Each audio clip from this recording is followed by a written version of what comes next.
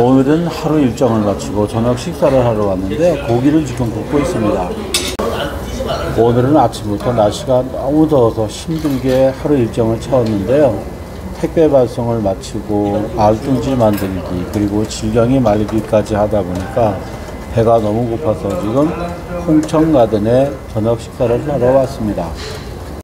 지금은 고기가 있기 전에 어, 곁들이 음식을 준비한 걸 먹고 있는데 이게 참 맛이 좋습니다.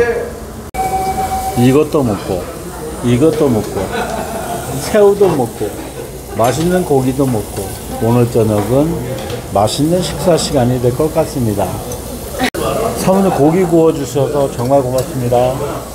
저 나오는 중? 나오죠. 찍는데 와.